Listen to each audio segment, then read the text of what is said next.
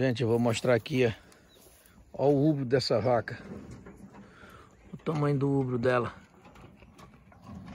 Elas estão ubradas, mas... Olha o tamanho do ubro dessa outra. Esse comendo aqui já é pra dar... Estão todas as duas amojadas. Ó. Eita. Vai pra lá, bicho. Olha pra lá. Não vem pega aqui, não.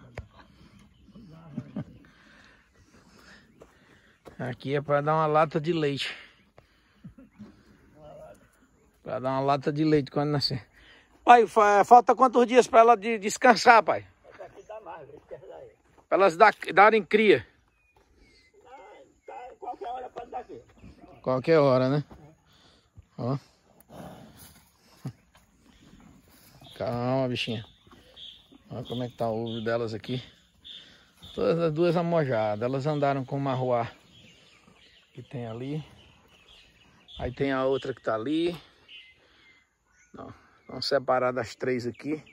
Que ela já tá dando leite. Mas é bonito de se ver.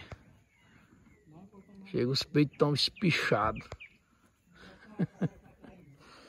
e agora o pai vai dar sal para esse aqui é o capim que nós vamos tirar agora há pouca hora. Depois botamos para moer.